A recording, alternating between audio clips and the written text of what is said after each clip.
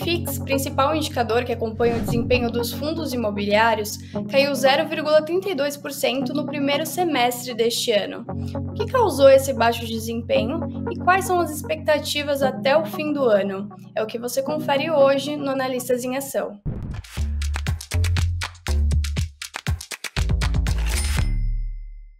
Nessa edição do Analistas em Ação, nós vamos falar do desempenho do IFIX e também das atualizações da carteira Top FI da Ano Invest. Hoje, quem está aqui para comentar sobre esse assunto é o José Falcão, analista da No Invest. Oi, José, seja bem-vindo a mais essa edição do Analistas em Ação. Olá, Natália. Olá, pessoal. Muito bom estar aqui novamente, trazendo aí as novidades do mercado de fundos imobiliários e também atualizações da carteira Top FI. Vamos nessa. José, até o fim de maio, o IFIX tinha acumulado uma rentabilidade de 0,56% no ano, como tínhamos conversado na edição passada do Analistas em Ação. No entanto, encerrando junho, o indicador caiu 0,88% no mês e ainda passou a acumular queda de 0,32% no ano. O que aconteceu no mês passado que puxou tanto o índice para baixo? É isso aí, Natália. Vale a pena destacar que apesar do desempenho negativo do IFIX no mês, quando comparamos com outras classes de ativos negociadas em bolsa, nos últimos 12 meses até junho, o IFIX registrou alta de 1,5% contra a queda de 22,3% do Ibovespa. E no mês passado, o índice dos FIIs caiu 0,88%, enquanto o próprio índice Ibovespa despencou 11,5% no período. Portanto, FIIs é uma alternativa menos volátil para a classe de renda variável. Então, a nossa sugestão aqui é que o investidor diversifique ainda mais a parte de renda variável da sua carteira, trazendo ali um bom mix de fundos imobiliários com ações também que abrem aí um bom leque de oportunidades eh, no curto e no longo prazo. E para isso a gente recomenda a nossa carteira Top FI, e também as carteiras de ações, dividendos e small caps que estão disponíveis no site do Invest News, aberta para qualquer investidor. E voltando aqui para o cenário de fundos imobiliários, falando um pouco do índice do IFIX, que é o principal índice dos fundos imobiliários negociados na B3, o desempenho do índice se mantém estável, apesar da leve queda em 2022 e da alta de 1,5% nos últimos 12 meses. E o motivo para isso é, que a gente fala que o índice está preso é por um cenário ainda desafiador, principalmente para os fundos de tijolo. São os mais impactados aí pelo cenário de juros altos, com maior volatilidade quando a gente compara com os fundos de papel. E agora eu vou mostrar para vocês um gráfico na tela, onde a, gente, onde a gente traz a performance por setor dentro do IFIX. E quando a gente olha o desempenho no ano de 2022, na ponta negativa, a gente tem o segmento de escritório caindo 5,8% no ano de 2022. E na ponta oposta, a gente tem uma alta de 5,6% dos fundos de papel. São aqueles fundos que possuem ativos financeiros na sua composição, na sua carteira. Em seguida, com desempenho positivo também, a gente tem os fundos do segmento de shopping, com um avanço de 1,6%. E conforme a gente mostrou na edição passada do Analistas em Ação sobre fundos imobiliários, o segmento de shopping vem demonstrando no último trimestre uma forte recuperação. A gente trouxe aqui alguns dados de administradoras e empresas de shopping, como Multiplan e Guatemi, mostrando aí uma forte recuperação nas suas vendas, inclusive ultrapassando as vendas do último trimestre de 2019, no período ali é, pré-pandemia. Então, isso aí mostra realmente que o setor é, vem se recuperando de forma resiliente e o reflexo disso está no preço com essa recuperação dos fundos de shopping. José, agora que a gente já entendeu o que rolou, o que nós podemos esperar do indicador até o fim do ano? Tem expectativas específicas para os fundos de tijolo e de papel? Sim, o mercado ele sempre fica nessa dúvida: é hora de investir em fundos de tijolo ou fundos de papel? Né? E qual o contexto atual quando a gente fala de fundos de tijolo?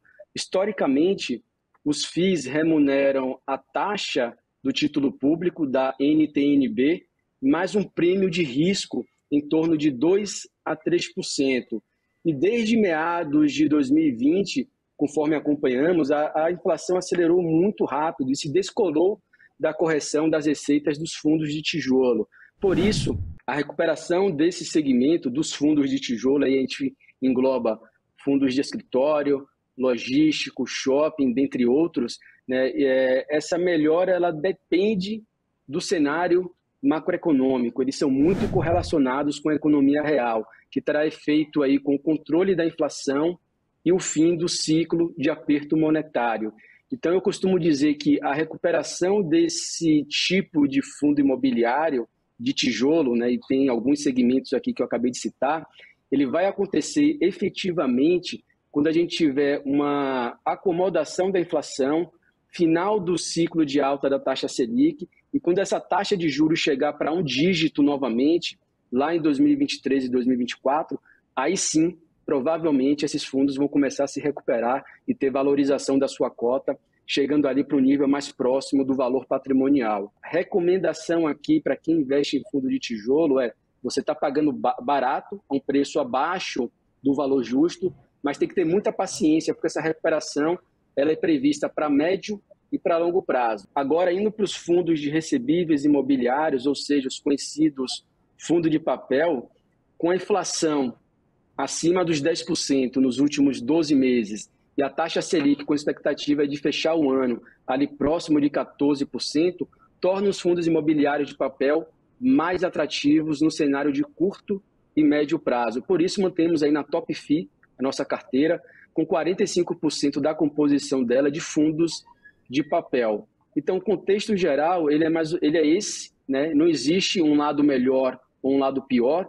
O ideal aqui é diversificar entre os dois tipos de fundos imobiliários, tijolo e também fundos de papel, e a gente vai entrar mais, em mais detalhes quando falarmos da nossa carteira Top FI, né? mas essa diversificação vai fazer com que você é, sobreviva a momentos mais desafiadores, atravesse a tempestade e sobreviva no final com um bom retorno e resiliência né, na, na, rentabilidade da sua carteira. Então, o momento atual ele é mais favorável para fundo de papel, então a alocação maior deve estar destinada a essa classe, né? mas também lembrando que no médio e longo prazo os fundos de tijolo possuem um grande potencial de valorização. Então, a gente não pode deixar de fora do nosso radar e também colocar isso dentro do nosso, da nossa carteira bem diversificada para conseguir é, bons retornos em qualquer cenário em qualquer momento do mercado. Perfeito. José, diferente disso, a Bolsa de Valores brasileira soltou recentemente dados operacionais sobre o mercado de fundos imobiliários. Você poderia comentar se teve destaques? Exatamente, Natália. E apesar de todos os desafios que a gente vem comentando aqui né, nos programas, os dados operacionais divulgados pela B3 mostram um cenário positivo para os fundos imobiliários. E quando a gente olha o patrimônio líquido dos fundos imobiliários, ele subiu pelo quarto mês consecutivo e alcançou 189 bilhões de reais em maio. É o maior valor da história para fundos imobiliários no Brasil. Lembrando que nos Estados Unidos esse valor patrimonial dos, REIT, dos REITs, que são negociados lá, que são equivalentes a fundos imobiliários aqui no Brasil, esse valor patrimonial ele ultrapassa um trilhão de dólares. Então, apesar do nosso mercado estar crescendo e já ser um número relevante ali próximo de 200 bilhões, ainda tem muito que crescer, tá? tem muito espaço ainda para desenvolvimento desse mercado. E olhando ainda no mês passado, o mercado de FIIs ganhou 38.500 novos investidores, pessoas físicas. Agora, de acordo com o boletim da B3, 1,7 milhão de brasileiros investem em fundos imobiliários e a participação de CPFs na base de investidores de fundos imobiliários se manteve ali em torno de 74%, e em relação ao volume negociado de fundos, se manteve em torno de 67% é, de pessoas físicas, né, de CPFs ali negociando fundos imobiliários. O que, é que isso mostra? Que esse mercado ele é dominado por pessoa física, isso é legal, né? Isso mostra que o investidor brasileiro tem muita afinidade com esse produto, ele vem crescendo mês a mês e, tem, e, como, e conforme eu comentei, ainda tem um longo caminho e muito potencial para crescer daqui para frente. Bacana.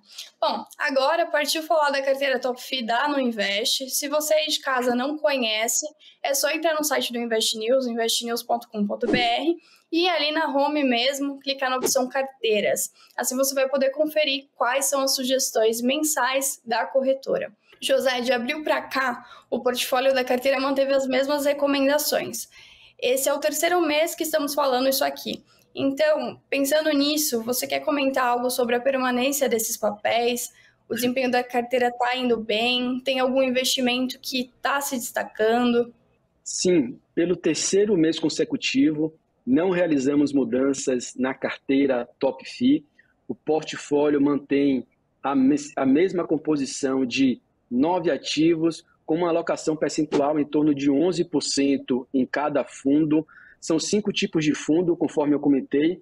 Papel, né, que são os fundos de recebíveis imobiliários, conforme acabamos de comentar, apresentam um momento mais favorável, por isso é a maior alocação da carteira, com 45%. Em seguida, o setor, o segmento logístico, com 22%, segmento agro, com 11%, shopping e escritório, também com 11% em cada segmento. Falando um pouco agora do retorno da carteira nesse período, é, nos últimos 12 meses, a carteira apresentou um desempenho positivo de 2,45% contra uma alta de 1,5% do IFIX.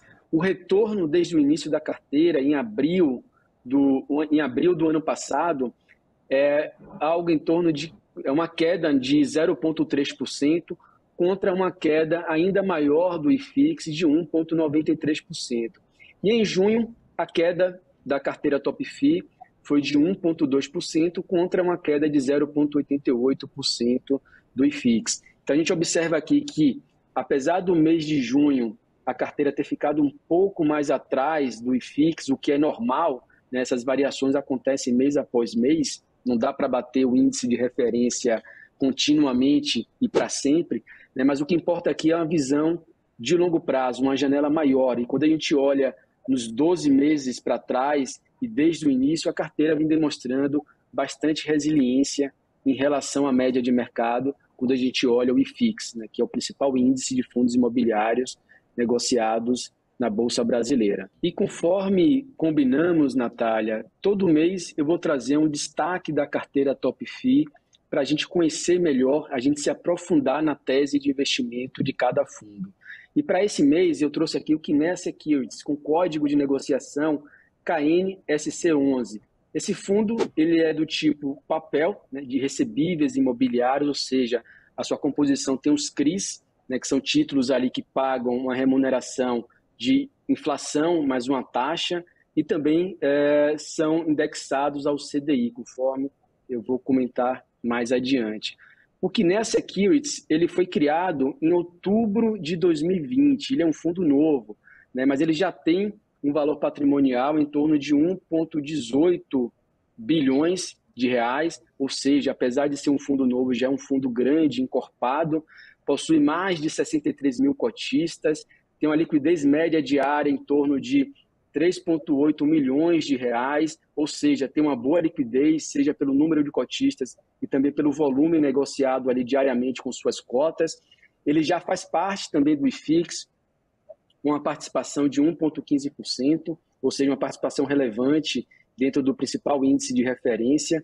Entregou aí um rendimento de 15,78% nos últimos 12 meses, muito bom para o nível de risco desse fundo e negocia aí uh, a 1,03 uma relação preço-valor patrimonial, né? ou seja, ainda não tem uma, um ágio muito grande em relação ao seu valor justo, o que ainda possibilita os investidores entrarem a um preço aceitável. Olhando um pouco mais da perspectiva da gestão do fundo, a gestora, que é a Kinea, ela nasceu em 2007, liderada por ex-executivos do Bank Boston, tendo como objetivo ali fazer gestão independente, mas né, com um grande grupo financeiro como sócio, que no caso é o Itaú. Porém, vale destacar que eles ainda mantêm né, essa característica de gestão independente da instituição financeira. E deixaram de ser uma gestora basicamente de multimercados, para atuar em diversas áreas de negócios. Dentro do portfólio da gestora, hoje eles possuem fundos que fazem, que atuam em diversos mercados, como imobiliário, é, previdência, infraestrutura, ações e também renda fixa.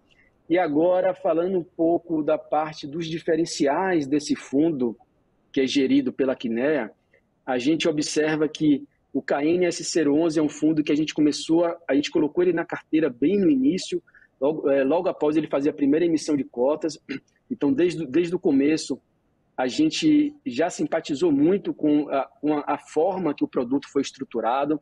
E dentre os diferenciais, a gente tem ali uma carteira que é diversificada em títulos com boa qualidade de crédito, garantias robustas, time de gestão experiente, conforme comentei, investe em operações exclusivas e de originações próprias, né, o que possibilita a gestora conseguir melhores taxas e melhores retornos para o fundo. O fundo também possui um mandato flexível, onde ele adquire títulos é, com indexação em juros reais e juros pós-fixados, né, ou seja, inflação e CDI ao mesmo tempo, e diferentes níveis de risco com títulos high, high yield e high grade dentro da sua carteira, o que faz ali um mix de taxas e, cons e consegue ali uma taxa bem é, atrativa para o cotista, conforme eu comentei, quase 16% ao ano nos últimos 12 meses. Esse mandato dinâmico é, contribui para uma boa performance em diferentes ciclos do mercado, fazendo aí o KNSC11 ser uma alternativa interessante para alocação em CDI, nesse momento de alta da taxa Selic, e também proteção com títulos indexados ao IPCA. Eu vou mostrar na tela para vocês agora como, como é que está atualmente a composição do fundo, para vocês terem uma noção melhor. Quando você olha no gráfico aí da tela, você pode ver que 32% dos títulos que compõem a carteira do fundo estão indexados a uma taxa de CDI mais 3,71%. E 59% dos ativos do fundo estão indexados ao IPCA, mais uma taxa de 7,93%, ou seja, uma taxa é, bem atrativa, acima da média de mercado, quando você compara com outros fundos com o mesmo nível de risco. E olhando agora a alocação por setor, o fundo possui aí uma exposição maior ao setor residencial, com 38%, escritórios com 31%, logístico com quase 15% e shopping com percentual menor de 6,6%. Então, basicamente, esse é um resumo breve do Kinea Securities. Faz muito sentido a gente manter ele na carteira, é um dos carros-chefes das nossas recomendações. Então, para quem tiver mais interesse nesse e em outros fundos, basta acessar o nosso relatório lá no Invest News, aberto para qualquer investidor. José, agora vamos tirar as dúvidas do pessoal que nos acompanha, respondendo as questões que recebemos nos comentários de outros programas. A primeira delas é do Guilherme Krunger. Ele disse o seguinte: Sigo a carteira de dividendos da Nu. Posso comprar um FII para diversificar ou o ideal é acompanhar toda a carteira de fundos imobiliários? Guilherme, sinceramente, o ideal é que você diversifique entre todos os ativos que compõem a carteira Top FI. Mas se você não consegue fazer isso agora, você pode fazer de forma gradual, comprando um fundo é, a cada mês ou a cada período, e assim você vai diversificando a sua carteira aos poucos, até atingir um número mínimo de cinco fundos imobiliários, pelo menos, né, que seria assim um mínimo aceitável. Mas o ideal é, você que, é que você busque, ao longo do tempo, diversificar para atingir os nove produtos recomendados dentro da carteira. José, a segunda pergunta é do Silvestre Paiva. Ele disse o seguinte: a partir de qual número de cotistas um FII é considerado de alta liquidez? Nas nossas análises, para incluir fundos dentro da carteira, um dos critérios é o número de cotistas. E o que a gente recomenda e o que a gente acha aceitável é de pelo menos 20 a 30 mil cotistas no fundo imobiliário. Terceira pergunta do Diego Xpeco, ele diz o seguinte: FIIs de laje, como o JSRE11, já estão na hora de comprar para pegar alta? A nossa recomendação para fundos de escritório é que sim, vale a pena ter um pedaço da carteira diversificado nesse segmento. mas tem que ter muito bem claro para o investidor que, é, que essa posição é para uma visão de longo prazo. E conforme eu comentei anteriormente, você tem que ter muita paciência porque esses fundos vão começar a obter mais valorização e recuperação no preço da cota quando a taxa de juros ceder para o nível de um dígito. Então você vai começar a perceber que esses fundos vão começar a ter uma valorização no valor da cota, chegando mais próximo do seu valor patrimonial. Então, o principal aqui é o tamanho da dose que você vai se expor a esse segmento. Tá? Na nossa carteira, a gente está apenas com 11%, porque é um, é um setor que ainda não demonstrou recuperação desde, desde o período aí dos últimos dois anos, é, que começou lá com a pandemia e que se estende ainda. Né? As empresas mudaram a sua forma de trabalhar, o modelo híbrido ainda não está tão claro para os investidores de como que vai ser daqui para frente, se esse mercado de escritório vai absorver né, o, o retorno dessas empresas. O número, a vacância ainda está em números elevados, por exemplo, na cidade de São Paulo, que é uma referência do mercado brasileiro, está acima de 22%. Tem regiões da cidade que esse número chega a 35% a 40%. Então, o grande desafio está aí. Né? Os, o, os proprietários desses imóveis, os fundos, eles não conseguem, nesse momento, nessa situação econômica desafiadora que a gente está passando, reajustar os seus contratos com níveis de aluguel mais elevados e também não conseguem ocupar de forma rápida a vacância que foi construída nesses últimos dois anos. Então, todo esse cenário né, desenhado para os fundos de escritório mostra um desafio muito maior do que os demais fundos de tijolo.